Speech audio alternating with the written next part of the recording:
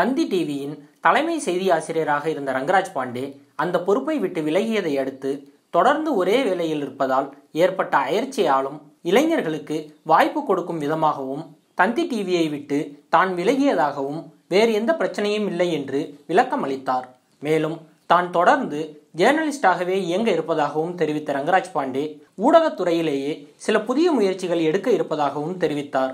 இதையடுத்து தனது யூடியூப் பக்கத்தில் பாஜகவிற்கு ஐந்து மாநிலங்களில் ஏற்பட்ட தோல்வி செந்தில் பாலாஜி திமுகவிற்கு சென்றது. ஓபிஎஸ் தம்பி நீக்கப்பட்டது குறித்து தன்னிச்சையாக அவரது கருத்துக்களை தெரிவிக்கும் பொருட்டு வீடியோக்கள் வெளியிட்டு வந்தார். வேறு மீடியா நிறுவனங்களுக்கு பேட்டியும் அளித்து வந்தார். அந்த பேட்டிகளில் தன் முன்னே நிறைய வாய்ப்புகள் இருப்பதாகவும் பொறுமையாக புதிய முயற்சிகள் எடுக்க இருப்பதாகவும் தெரிவித்த ரங்கராஜ் பாண்டே இதுவரை தனது அடுத்த பணி குறித்து தீர்மானமாக எந்த முடிவையும் எடுக்கவில்லை என்றும் கூறி வந்தார். திடீரென ஹிந்தி படமான பிங்க் ரீமேக்கில் அஜித்துடன் ரங்கராஜ் பாண்டே இணைந்து நடிக்கவிருப்பதாகவும் அதிகாரப்பூர்வ தகவல் வெளியானது. ஸ்ரீதேவி கணவர் போனி கபூர் தயாரிக்கவிருக்கும் அந்த படத்தின் பூஜையிலும் பாண்டே கலந்து கொண்டார். இந்நிலையில் நேற்று இரவு நியூஸ் செவன் சேனல் ஒரு அறிவிப்பை வெளியிட்டுள்ளது. அதில் ரங்கராஜ் பாண்டே பராக் பராக் விரைவில் என்று குறிப்பிட்டுள்ளது. மேலும் ரங்கராஜ் பாண்டே செய்திகளை அளிப்பது போன்று சிறிய வீடியோ ஒன்றையும் வெளியிட்டுள்ளது. இதையடுத்து ரங்கராஜ் பாண்டே நியூஸ் செவன் சேனலில் வேலைக்கு சேர்ந்து விட்டார் என்று செய்தி பரவியது. தற்போது நியூஸ் செவன் சேனலின் தலைமை செய்தியாசிரியர் பொறுப்பில் இருப்பவர் நெல்சன் சேவியர். இவர் சன் டிவி உட்பட பல முன்னணி சேனல்களில் பணியாற்றிய பிரபல செய்தியாளர் ஆவார்.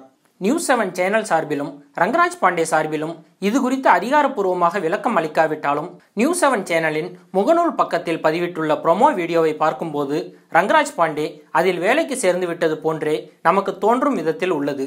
இது பற்றி கூறும் மீடியா நண்பர்கள் சிலர் நியூஸ் செவன் சேனலின் தலைமை செய்தியாசிரியர் பொறுப்பில் இருக்கும் நெல்சன் சேவியர் இன்னும் அதே சேனலில் தான் உள்ளார். ப்ரமோ வீடியோவை பார்க்கும்போது ரங்கராஜ் பாண்டே நியூஸ் செவன் சேனலில் சேர்ந்து விட்டது போன்று தோற்றம் அளிப்பது சேனலின் விளம்பர தந்திரம். மக்களிடையே எதிர்பார்ப்பை உருவாக்கவே இது போன்ற சேனல் நிர்வாகம் வெளியிட்டுள்ளது. உண்மையில் நாடாளுமன்ற தேர்தல் நெருங்க இருப்பதை அடுத்து தேர்தல் தொடர்பாக கட்சிகளின் வெற்றி வாய்ப்புகள் பற்றி நாடாளுமன்ற தேர்தல் பராக் பராக் எனும் டாக் ஷோவை ஆரம்பிக்கவிருக்கிறது நியூஸ் செவன் சேனல். அதில் விருந்தினராகவே ரங்கராஜ் பாண்டே கலந்து கொண்டு பேசியிருக்கிறார்.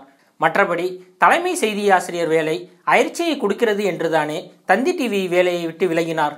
பிறகு ஏன் அதே பொறுப்பை வேறு சேனலில் ஏற்கப் போகிறார் என்று விளக்கம் அளித்தனர். மீடியா துறையை சேர்ந்தவர்கள். இது பற்றி ரங்கராஜ் பாண்டேவிற்கு நெருக்கமானோர் கூறுகையில் சேனல்களை தாண்டி ரங்கராஜ் பாண்டே கிட்டத்தட்ட ஒரு பிராண்டாகவே உருவாகிவிட்டார். அவரை பிடிக்கிறதோ இல்லையோ அவர் என்ன சொல்கிறார் என்று கேட்கவே ஒரு பெருங்கூட்டம் இருக்கிறது. இப்படி செல்வாக்கோடு உயர் பதவிகளில் இருப்பவர்கள் ஒரு புதிய வேலையை கையில் வைத்துக்கொண்டுதான் இருக்கும் வேலையை உதறுவார்கள். இடைவெளி விடமாட்டார்கள். அந்த இடைவெளி அவர்களது பிரபல்யத்தை நீர்த்து போகச் செய்யும். ரங்கராஜ் பாண்டேவிற்கு பாஜக உயர் வட்டாரத்தில் பல நண்பர்கள் உள்ளனர்.